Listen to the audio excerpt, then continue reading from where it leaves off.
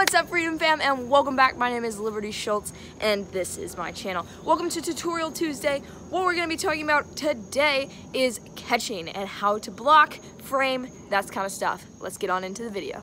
Hi, my name is Liberty Schultz and I'm a future college softball player. Welcome to Tutorial Tuesday. During this series, you'll learn fielding, catching, hitting, and diving. Prepare to learn. So for this video on catching, what we're going to be talking about is framing, blocking, and throwdowns. Let's put on our catcher stuff. All right, guys, let's get on into practicing some catching stuff. I'm gonna put all the links in the description to all this gear. So if you guys wanna check out some catcher's gear or you wanna go buy some, go click those links and check it out. Let's get on into the video. The first drill that you can do to work on blocking is just do a stationary drill, setting a ball down in front of you and just working on popping down and popping back up. Down, pop. And right here, you really just wanna work on form. It doesn't matter about quickness, you can work on that later just like that. And a way that you can work on framing without someone throwing it to you is just work on getting your angles better. Um, so working on shifting down, staying low, shifting that knee in, turning this way, you know, working on that low pitch, that kind of stuff, just working on those angles. After working on those still drills, what you want to do is get someone who can throw you the ball, like your mom or your dad or a friend or whatever, someone who lives in your basement or whatever, I don't care. They just get get someone to throw you a ball, and uh, we're gonna show you this next drill that you can work on for framing and blocking. So what you're gonna do for this drill is you're gonna need your full gear on and your mask, and uh, right now we're just gonna work on blocking. So you're gonna get someone to throw you a ball on the ground right in front of you, and you're just gonna work on replacing those knees with those feet. So I'll show you a side view, replacing those knees and down, like that. And you wanna make yourself as big as possible so you stop that ball and really get that hand behind and make yourself big. So here we go, I'll show you this drill.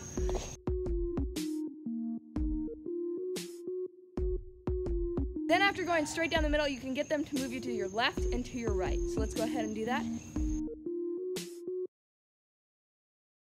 What we're gonna do is just work on framing. So you have your person that's throwing it, throw it to the left inside knee, the right inside knee, up top, and down low. So that's how you're gonna do that glove movement. This, this, this, this. So you really want to keep that elbow bent and kind of move your head around it, just like this. Just a quick turn. Drop that knee if you want to. This side, you can really drop that knee.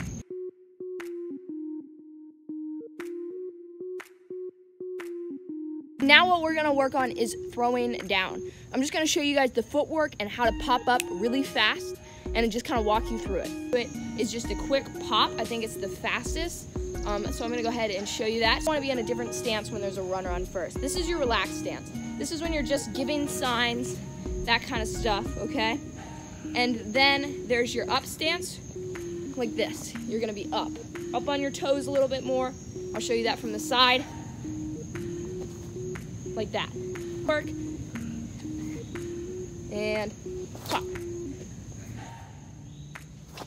One thing after you pop is making a hard and accurate throw. The best way to do that is to make sure you follow through on your throw and just throw it as hard as you can and accurate.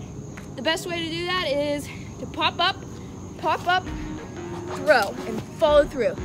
You want everything you got, especially if you're a small catcher, going towards second base. So one of the biggest parts about catching is making sure that you're super friendly to the umpire.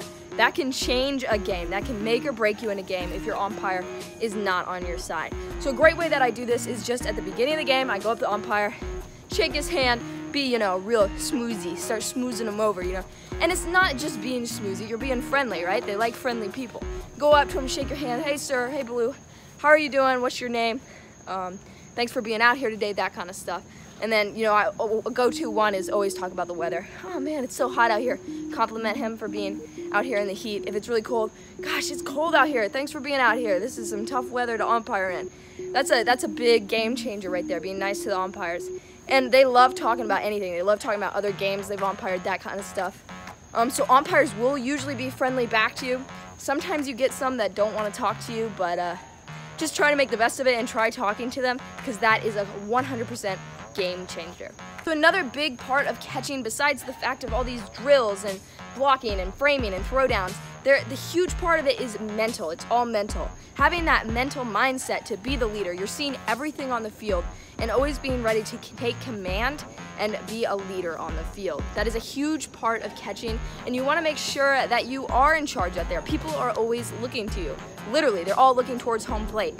You are the, the captain. So you want to make sure that you, your body language shows that you're you're confident and you're in charge and you're not letting the game, oh, I didn't get an at bat. I'm gonna sag my shoulders because your team will see that and they'll feed off that and they will start being negative. So you wanna always be positive, have a good attitude, and be a great leader out there. And the final thing I have to say about catching is you gotta be tough back there. You're gonna get hit with balls, you're gonna get hit with bats sometimes, especially if you're playing at a younger level.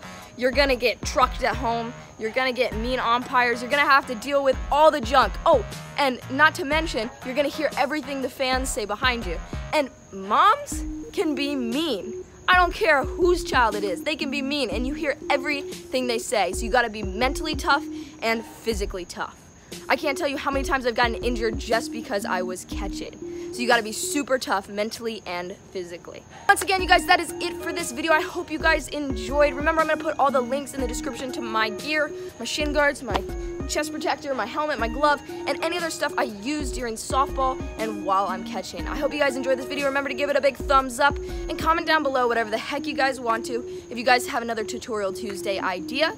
And also hit that subscribe button while you're here. If you're new, you haven't already hit it, hit that subscribe button down there. Please do me a favor here. Alright guys, I hope you guys enjoyed Tutorial Tuesday. Remember to create your own box and embrace the grind, you guys. We'll see you guys on the next vlog.